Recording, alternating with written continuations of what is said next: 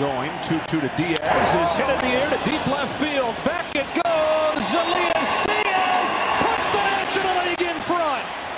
At 32 years old in his All-Star debut, a go-ahead